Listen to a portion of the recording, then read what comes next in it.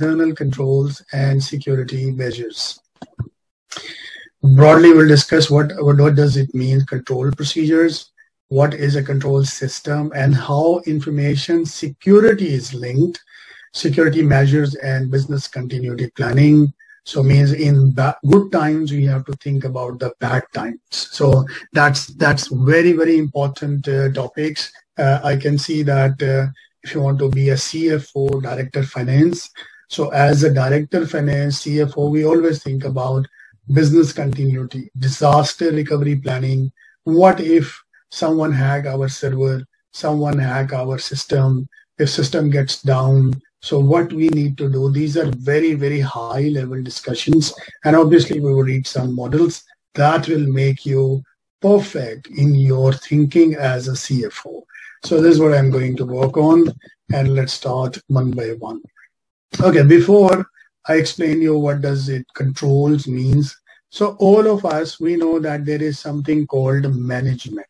So management of resources, financial resources is our responsibility being a director budget, director finance, CFO, reporting to CEOs. We have to make sure that we are having effective and strong controls.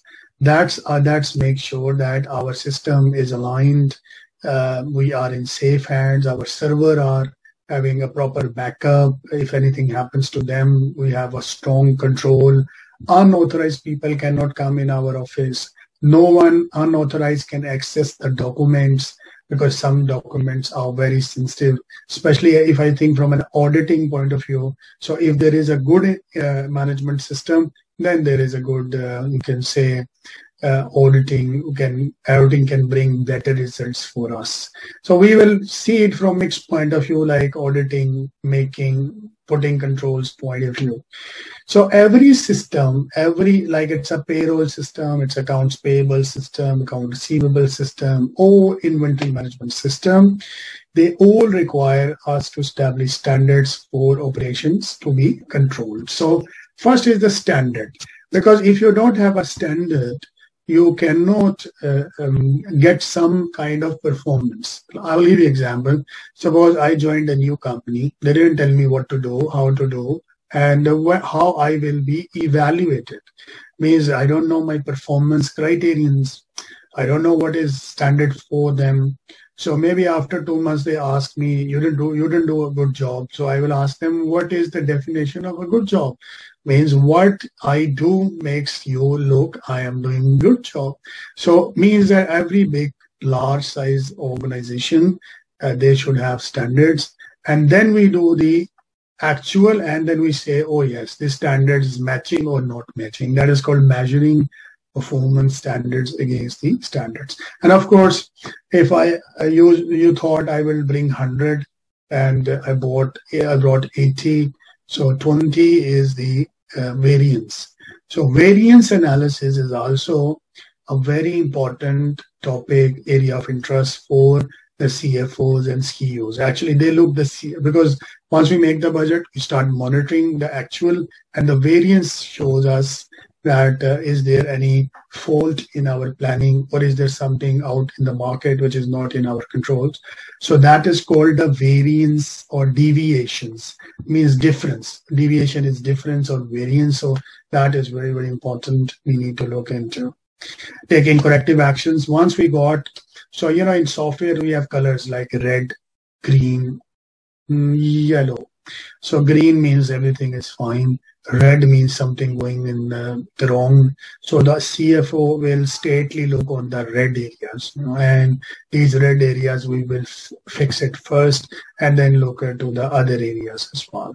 And if required, we will do the reappraising of the standard. Maybe standard was good at time, um, but now it is no more a good time. For example, if you see that COVID has changed all the strategies of the management. So for example, Mashreq Bank you saw that uh, there is a lot of uh, outsourcing they did.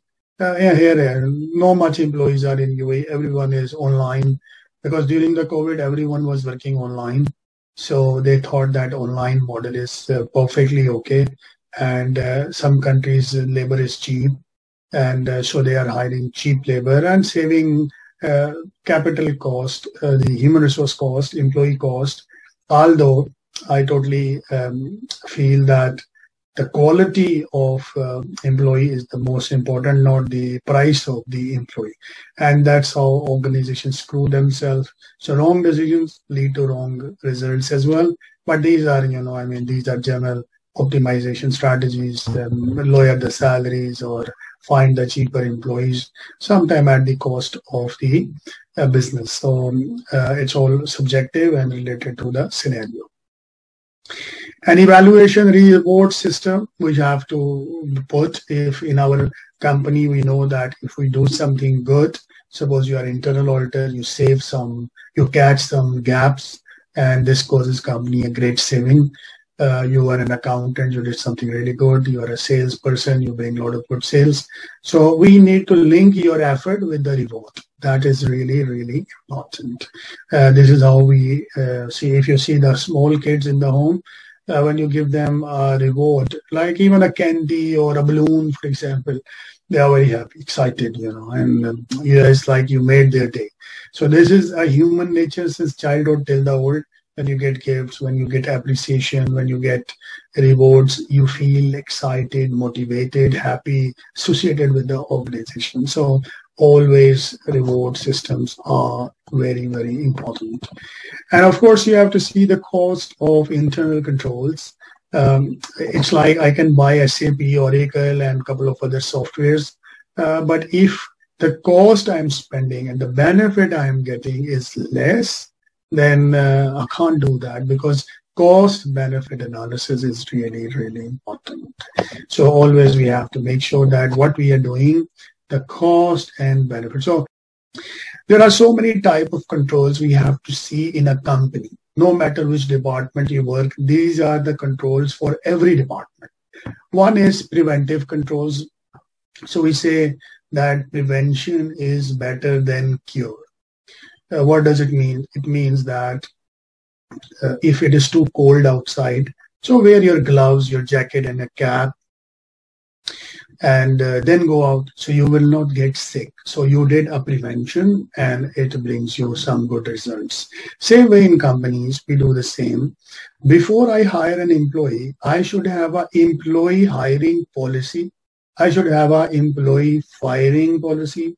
I should have an employee promotion policy. I should have all the aspects covered in a HR policy because this will prevent us from unnecessary problems related to an employment because employee can blame you. They can tell you that you are not organized and you don't told you don't tell me before and that's not the way it works so these are you know few things prevention preventive so we bought we bought some locks and doors.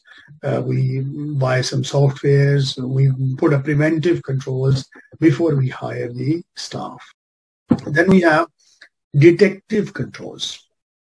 So if you have a very nice laptop, we will install what?